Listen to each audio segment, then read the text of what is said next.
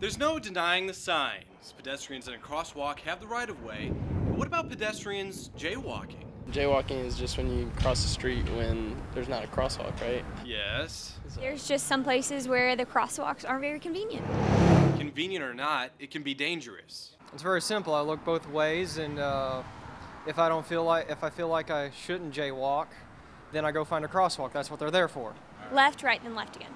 WKU Public Information Officer Mandy Johnson says people need to be more cautious. If you just take a second, put the phone down, look both ways before you cross, you know, you should be fine. Officer Johnson says under Kentucky law, pedestrians have the right of way if they're in a crosswalk, and if you're caught jaywalking, you can be issued a citation. I mean, I'm sure I've jaywalked in front of a police officer before, so I don't even know if, if they're watching this for jaywalkers. I mean, I know it's illegal, but I've never been yelled at for it.